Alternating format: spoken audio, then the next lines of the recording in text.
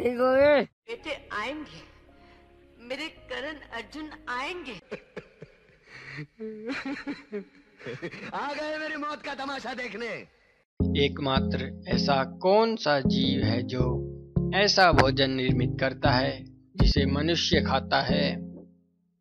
जवाब सोचने के लिए आपके पास 10 सेकंड का समय है।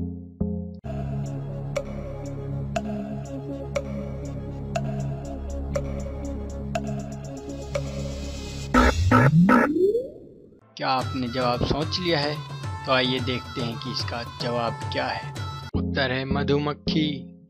शहद का निर्माण करती है।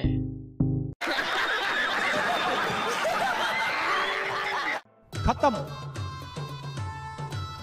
Bye bye, tata, goodbye, गया। भाई, मज़ा आया।